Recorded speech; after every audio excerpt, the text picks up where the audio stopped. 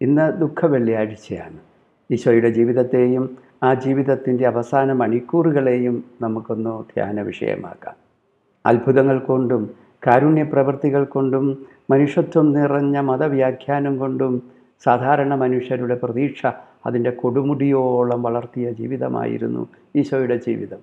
എന്നാൽ അവസാന ദിവസങ്ങളിലേക്ക് കടക്കുമ്പോഴോ ഇത്രയധികം ദുഃഖപൂർണമായ ഇത്രയധികം ശോകപൂർണമായ ഇത്രയധികം ദുരന്ത പര്യവസായിയായ മറ്റൊരു ജീവിതം കാണാറുണ്ടോ? ഈശോയുടെ അവസാന ദിവസങ്ങളിലെ സംഭവങ്ങളെ വസ്തുതാപരമായി ഒന്ന് പിന്തുടർന്നാലേ നമുക്കിതിന്റെ രൂക്ഷത ഈ ദുഃഖത്തിന്റെയും ദുരന്തത്തിന്റെയും രൂക്ഷത നമുക്ക് മനസ്സിലാവുള്ളൂ. തന്റെ അത്ഭുതങ്ങളുടെയും കാരുണ്യപ്രവൃത്തികളുടെയും തൊട്ടടുത്തു നിന്ന് സാക്ഷ്യം വഹിച്ച ശിഷ്യരോടായിരുന്നു ഈശോ ജീവിതത്തിന്റെ രണ്ടാം ഭാഗത്ത് തന്റെ മരണത്തെക്കുറിച്ച് വരാൻ പോകുന്ന മരണത്തെക്കുറിച്ച് മൂന്ന് പ്രാവശ്യം ആവർത്തിച്ച് ആവർത്തിച്ച് പറഞ്ഞത്. മുന്നോട്ട് പോകുമ്പോൾ പറഞ്ഞിട്ടും മനസ്സിലാകാതെ വരുന്നവരുടെ മുമ്പിലാണ് പെസഹ ഭക്ഷണത്തിലെ രണ്ട് പ്രധാന ഘടകങ്ങളെ എടുത്ത് പുനർവ്യാഖ്യാനം ചെയ്തുകൊണ്ട് തന്റെ ബലിമരണമാണ് എന്ന് അവരെ ഓർപ്പിപ്പിച്ചു കൊടുക്കുന്നത്.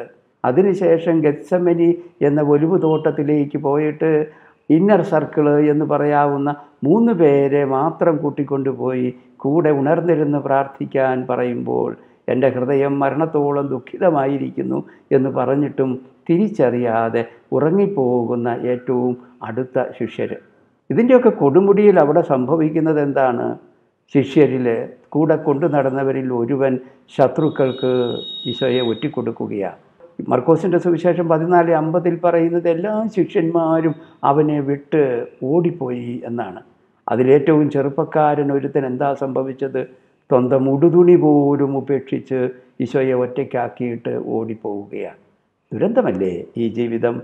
മുന്നോട്ട് പോകുമ്പോൾ ശിഷ്യരിൽ പ്രധാനിയായിട്ട് കൊണ്ട് നടന്നിരുന്ന പത്രോസ് വെറുമൊരു വേലക്കാരി പെണ്ണിന്റെ മുമ്പിൽ ഈശോയെ അറിയില്ല എന്ന് ആവർത്തിച്ച് പറഞ്ഞ് ഉപേക്ഷിക്കുകയാണ്. ഈ ജീവിതം ദുരന്തമല്ലെങ്കിൽ പിന്നെ ഏതാണ് ദുരന്തമായ ജീവിതം? വിചാരണ നേരത്ത് ഈശോയുടെ അത്ഭുതത്തിന് സാക്ഷികളാവുകയും ഓശാന പാടുകയും ചെയ്ത ജനമാണ് അവനെ ക്രൂശിക്കുക ക്രൂശിക്കുക എന്ന് വിളിച്ചു പറയുന്നത്. ആ വിചാരണ കോടതിയിൽ ഒരാൾ പോലും യേശുവിന്റെ പക്ഷം ചേരാനില്ലായിരുന്നു. ദുരന്തമല്ലേ ഈ ജീവിതം? എന്നിട്ട് പടയാളികൾ ചമന്ന കുപ്പായവും മുൾക്കിരീടവും ചെങ്കോലും ധരിപ്പിച്ച് പരിഹാസപാത്രമാക്കുകയാണ്. അവസാനം പീലാത്തോസിന്റെ അരമന മുതൽ ഗോൽഗോത്ത എന്ന് പറയുന്ന സ്ഥലം വരെ ജെറൂസലം നഗരത്തിലൂടെ കുരിശും ചുമന്നുകൊണ്ട് പരസ്യമായിട്ട് ആക്ഷേപിച്ച് പീഡിപ്പിച്ച് കൊണ്ടുപോവുകയാണ് രണ്ട് കവർച്ചക്കാരുടെ നടുവിൽ പെരും കവർച്ചക്കാരനായിട്ട് കുരിശിൽ തറയ്ക്കപ്പെടുന്നു.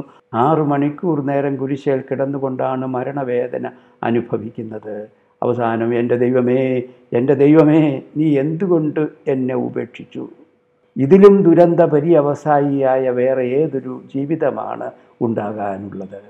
എന്നിട്ടും മൂന്നാം നാൾ നടക്കുന്ന അനുഭവത്തിന്റെ വെളിച്ചത്തിൽ പത്രോസ് നാലാം അധ്യായത്തിൽ യഹൂദ പ്രമാണിമാരോട് പ്രസംഗിക്കുന്നത് നിങ്ങൾ കുരിശിൽ തറച്ചു കൊന്ന നസ്രായനേശുവിനെ ദൈവം ഉയർപ്പിച്ചു അവന്റെ നാമത്തിലാണ് ഞാൻ സൗഖ്യപ്പെടുത്തുന്നത് എന്നാണ്. അതിനുശേഷം ഇങ്ങോട്ട് ഈശോയിൽ വിശ്വസിക്കുകയും ഈശോയുടെ വ്യക്തിത്വത്തിൽ ശരണം പ്രാപിക്കുകയും ചെയ്യുന്നവരെത്രയാണ്? എന്തിന് ഭാരതം കണ്ട ആധുനിക സന്യാസ വര്യന്മാരിൽ പ്രമുഖനായ വിവേകാനന്ദൻ തന്നെ പറഞ്ഞില്ലേ?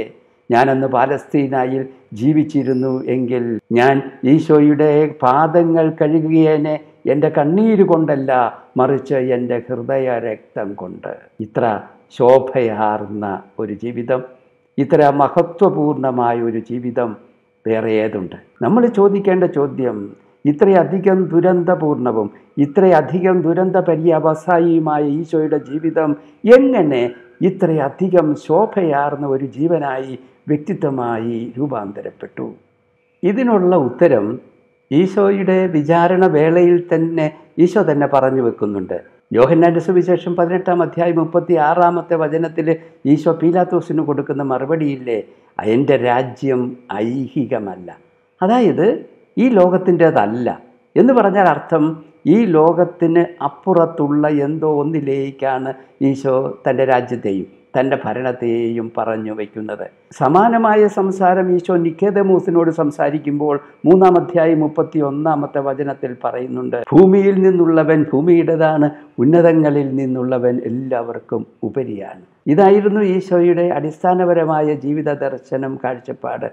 അതായത് താൻ ആരാണ് എന്നുള്ള സങ്കല്പം. തന്റെ ഈ ശരീരവും ശരീരത്തോട് ബന്ധപ്പെട്ടതും അല്ല മനസ്സും അതിനോട് ബന്ധപ്പെട്ടതുമല്ല ശരീരത്തിന്റെയും മനസ്സിന്റെയും പിറകിൽ നിൽക്കുന്ന ജീവൻ അത് ഐഹികമല്ല. ഈ ജീവൻ ദൈവത്തിന്റെ തന്നെ ജീവന്റെ അംശമാണ്. ഈ അവബോധത്തിൽ നിന്നാണ് ഈശോ പറഞ്ഞത് താൻ ദൈവത്തിന്റെ മകനാണ്. ഈശോയുടെ ആത്മബോധം അതായിരുന്നു. ഈ ആത്മബോധം ഉണ്ടായാൽ അതിന്റെ പരിണതഫലം കണ്ണു തുറന്ന് നോക്കുമ്പോൾ ചുറ്റും കാണുന്നവരൊക്കെ ഈ ദൈവാംശത്തിന്റെ ഭാഗങ്ങളായി കാണാൻ പറ്റും. അർത്ഥം ചുറ്റുമുള്ള വ്യക്തികളൊക്കെ തന്റെ സോദരരായിത്തീരുന്നു മനുഷ്യർ മാത്രമല്ല മൃഗങ്ങളും ജീവജാലങ്ങളും പക്ഷികളുമൊക്കെ സോദരരായി മാറുന്ന അടിസ്ഥാന കാഴ്ചപ്പാടാണ് ഈശോയുടെ ഈ ആത്മബോധം. ഇത് ഏറ്റവും നന്നായി സാംശീകരിക്കുകയും പുനരവതരിപ്പിക്കുകയും ചെയ്തത് അസീസിയിലെ ഫ്രാൻസിസാണ്. കസന്തസാക്കീസ് അദ്ദേഹത്തിന്റെ ജീവചരിത്രം പറഞ്ഞു പോകുന്നിടത്ത് റോമിൽ നിന്നും അസീസിയിലേക്കുള്ള യാത്രയിലാണ് ഫ്രാൻസിസും കൂടെ ബ്രദർ ലിയോയും. അവർ ഒരു അരുവിയുടെ അടുത്ത് വന്നു. അപ്പോൾ ഒരു കൂട്ടം കുരുവികൾ ഫ്രാൻസിസിന്റെ തലയ്ക്ക് മീതെ കൂടെ പറന്നു. അദ്ദേഹം ലിയോയോട് പറഞ്ഞു നീ അനങ്ങരുത് അവിടെ നിൽക്കുക. എന്നിട്ട് ഇരു കരങ്ങളും വിരിച്ചു പിടിച്ച് ഫ്രാൻസിസ് കുരുവികളെ അഭിസംബോധന ചെയ്തു. അദ്ദേഹം പറഞ്ഞു പക്ഷികളുടെയും മനുഷ്യരുടെയും പിതാവായ ദൈവം നിങ്ങളെ സ്നേഹിക്കുന്നു. അത് നിങ്ങൾക്കറിയാം. അതുകൊണ്ടാണ് ഓരോ പ്രാവശ്യം വെള്ളം കുടിക്കുമ്പോഴും ഓരോ മുത്തിനും ശേഷം നിങ്ങൾ ശിരസ് ആകാശത്തേക്ക് ഉയർത്തി അവന് നന്ദി പറയുന്നത്. അതുകൊണ്ടാണ് പ്രഭാത കിരണങ്ങൾ നിങ്ങളെ വന്ന് തൊട്ടു വിളിക്കുമ്പോൾ നിങ്ങൾ അധരങ്ങളിൽ അവന് കീർത്തനവുമായി ആകാശത്തേക്ക് പറന്നുയരുന്നത്. എന്റെ രാജ്യം ഐഹ്യമല്ല അതായത് എന്റെ ശരീരത്തിനും മനസ്സിനും പിറകിൽ നിൽക്കുന്ന എന്നിലെ ജീവൻ ജീവന്റെ ഉറവിടമായ ദൈവത്തിന്റെ തന്നെ അംശമാണ് ഞാൻ ദൈവത്തിന്റെ ഭാഗമാണ് ദൈവത്തിന്റെ മകനാണ് എന്നുള്ള തിരിച്ചറിവിലേക്ക് ഉണർന്ന ഈശോയാണ് ചുറ്റും കാണുന്നവരൊക്കെ സോദരരായി മാറുന്ന അവസ്ഥ. ഇത്തരമൊരു മാനസിക ഭാവത്തിലേക്ക് വന്നാൽ എന്താ സംഭവിക്കുന്നത്? അതാണ് ഈശോയിൽ സംഭവിച്ചത്. താൻ ദൈവത്തിന്റെ മകനും തന്റെ ചുറ്റുമുള്ളവരൊക്കെ സോദരരുമാണെന്നുള്ള തിരിച്ചറിവിൽ നിന്നാണ് ഈശോയുടെ എല്ലാ പ്രവൃത്തികളും എല്ലാ ഭാഷണങ്ങളും പൊട്ടിമുളച്ചത്. അത്തരമൊരു മനോഭാവം തന്നെയാണ് ഈശോ തന്റെ ദുരന്തങ്ങളിലും തന്റെ സഹനങ്ങളിലും പുലർത്തുന്നത്. കുരിശിൽ തറയ്ക്കലിന്റെ സമയത്ത് ഈശോ എന്താ പറയുന്നത്? പിതാവേ ഇവർ ചെയ്യുന്നത് എന്തെന്ന് ഇവരറിയുന്നില്ല ഇവരോട് ക്ഷമിക്കണമേ. ലുക്കായുടെ സുവിശേഷം ഇരുപത്തി മൂന്നാമത്തെ അധ്യായം മുപ്പത്തിനാലാമത്തെ വചനത്തിലാണ് ഈശോ ഇത് പറയുന്നത്. അതായത് ഈശോ നോക്കുമ്പോൾ തന്നെ പീഡിപ്പിക്കുകയും തന്നെ കുരിശിൽ തറയ്ക്കുകയും സഹനത്തിന്റെ നടുവിൽ തന്നെ ആക്കുകയും ചെയ്യുന്നവരൊക്കെ സോദരരാണ് ചെയ്യുന്നത് എന്തെന്ന് അറിയുന്നില്ല.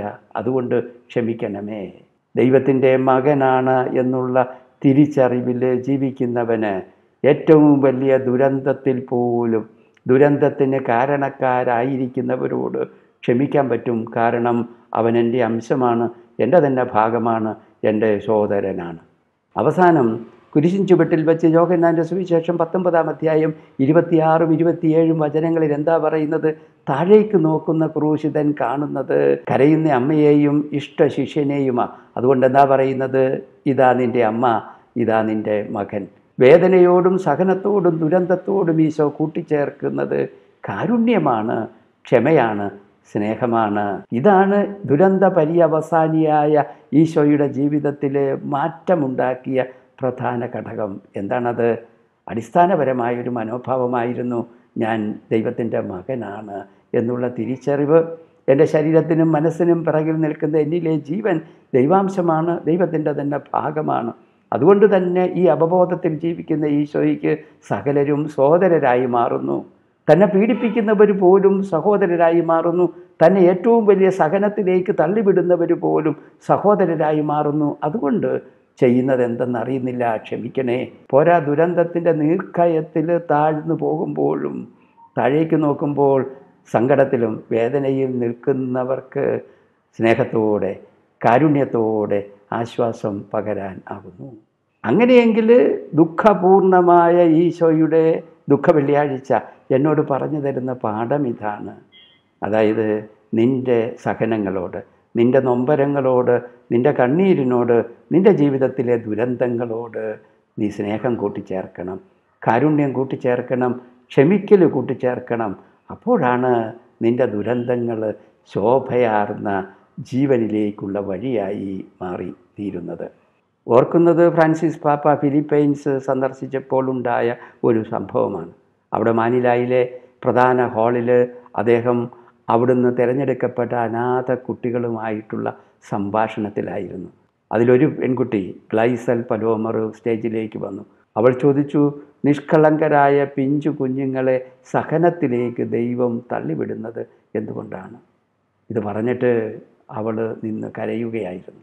ഇത് കണ്ട ഫ്രാൻസിസ് പാപ്പ അവളുടെ അടുത്തേക്ക് നടന്നെടുത്തു എന്നിട്ട് അവളെ ചേർത്ത് പിടിച്ചുകൊണ്ട് അവിടെ കൂടിയിരുന്ന ശ്രോതാക്കളോടായി പറഞ്ഞു ഇവൾ ഈ ചോദ്യം ചോദിച്ചിരിക്കുന്നത് അവിടെ കണ്ണീര് കൊണ്ടാണ്. അതുകൊണ്ട് തന്നെ കണ്ണീരോടെ ഈ ചോദ്യം ആവർത്തിക്കാനും നൊമ്പരത്തോടെ ഇവളോട് ചേർന്ന് നിൽക്കാനും കഴിയുമ്പോൾ മാത്രമേ നമുക്ക് ഇവളുടെ ചോദ്യം മനസ്സിലാവുള്ളൂ. എന്നിട്ട് അദ്ദേഹം പറഞ്ഞു ഒരു ഉത്തരവുമില്ലാത്ത ചോദ്യമാണിത്. അതിനുശേഷം അദ്ദേഹം കൂട്ടിച്ചേർത്തു ക്രിസ്തു പല പ്രാവശ്യം കരഞ്ഞിട്ടുണ്ട്. കൂട്ടുകാരൻ ലാസർ മരിച്ചപ്പോൾ ഈശോയ്ക്ക് കരച്ചിലടക്കാനായില്ല. ജായിറൂസിന്റെ മകൾ മരിച്ചപ്പോഴും അവൻ കരഞ്ഞിട്ടുണ്ട്. നായിമിലെ വിധവ തന്റെ മകന്റെ ശവമഞ്ചത്തെ അനുഗമിക്കുമ്പോഴും ഈശോ കരഞ്ഞു. എന്തിന്? അപ്പത്തിനും ആശ്വാസത്തിനുമായി അലയുന്ന ജനക്കൂട്ടത്തെ കണ്ടപ്പോഴും അവൻ സങ്കടപ്പെട്ടു. വേദനിക്കുന്നവരോടൊപ്പം കരയുമ്പോഴാണ് നാം അവരെ മനസ്സിലാക്കുന്നത് നാം അവരെ സ്നേഹിക്കാൻ തുടങ്ങുന്നത്. ഈശോയുടെ ദുരന്ത പര്യവസായിയായ ജീവിതം.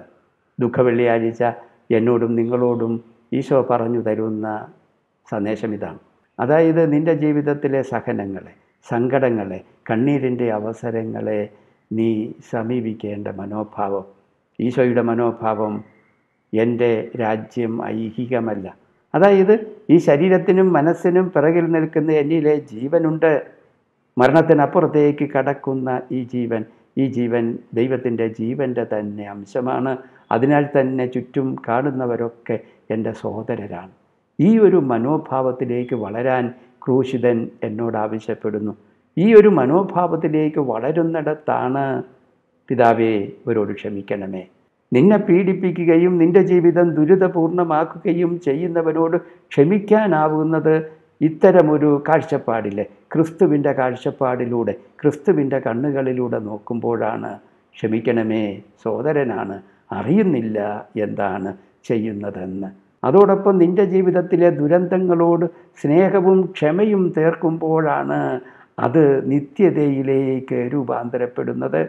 ഒപ്പം നിന്റെ ചുറ്റിലുമുള്ള സഹോദരങ്ങളുടെ ജീവിതങ്ങളിലുള്ള കണ്ണീര് നൊമ്പരം സഹനം അത് ചേർന്ന് നിൽക്കാനും കണ്ണീരോടെ മനസ്സിലാക്കാനും ഹൃദയ നൊമ്പരത്തോടെ കൂടെ നിൽക്കാനും പറ്റുമ്പോൾ എന്താ സംഭവിക്കുന്നത്? സ്നേഹം ചേർക്കുമ്പോൾ ആ സഹനങ്ങളൊക്കെ നിത്യതയ്ക്കുള്ള വഴിയായി മാറും. ക്രൂശിതനായ ഈശോ കുരിശിൽ കിടന്നുകൊണ്ട് എന്നോട് പറയുന്നത് ഇതാണ്. നിന്റെ സഹനങ്ങളെ സ്നേഹം കൊണ്ട് നിറയ്ക്കുക. ഒപ്പം സഹിക്കുന്ന സഹോദരങ്ങളെ കാണുമ്പോൾ സ്നേഹത്തോടെ അവരോട് ചേർന്ന് നിൽക്കുക കാരുണ്യത്തോടെ ചേർന്ന് നിൽക്കുക. നിന്റെ ജീവൻ ഒപ്പം അവരുടെ ജീവനും നിത്യതയിലേക്ക് വളരാനുള്ള ഉയർപ്പായി രൂപാന്തരപ്പെടാനുള്ള വഴി ഇത് മാത്രമാണ്. നമുക്ക് പ്രാർത്ഥിക്കാം.